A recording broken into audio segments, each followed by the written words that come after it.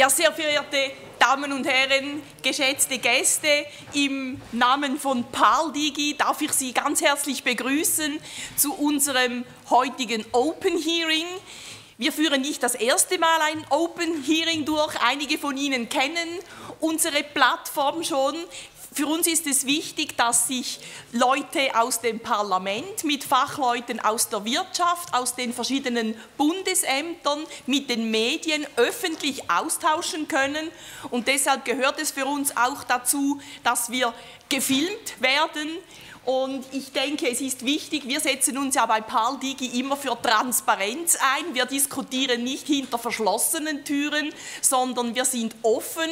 Und auch dieses Thema der, Netzsperren, das wir heute diskutieren, gibt sicher zu sehr viel Diskussionen Anlass. Zuerst möchte ich meinen Go-Präsidenten Franz Grütter entschuldigen. Er hat leider eine andere Verpflichtung, aber deshalb haben wir ja ein Go-Präsidium, in dem wir uns eben auch gegenseitig ersetzen können. Das heutige Thema Netzsperren im neuen Geldspielgesetz. Ist es wirkungsvoll oder untauglich? Das löst Emotionen aus. Die Diskussionen finden statt und wir sind ja sehr aktuell in diesem Thema, weil die zuständige Rechtskommission des Nationalrates ja im Januar dieses Thema diskutieren wird und ich auch spüre, wenn ich mit meinen Kolleginnen und Kollegen im Parlament spreche, dass die Meinungen noch nicht überall gemacht sind. Und deshalb erachten wir es von PALDIGI als zielführend, mit Ihnen als Fachpersonen konstruktiv, aber durchaus auch mit sehr unterschiedlichen Haltungen das Thema hier zu diskutieren.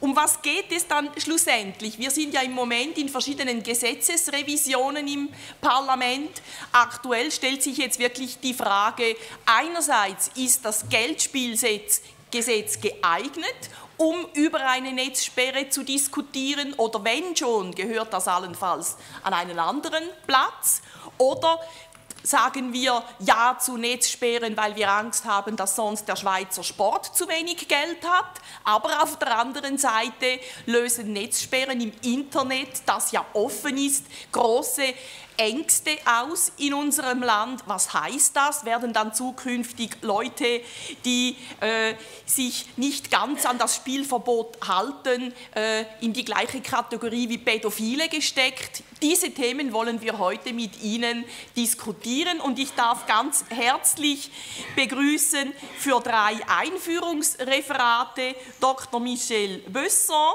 Verantwortlicher für Geldspiele, Lotterien und Wetten beim Bundesamt für Justiz.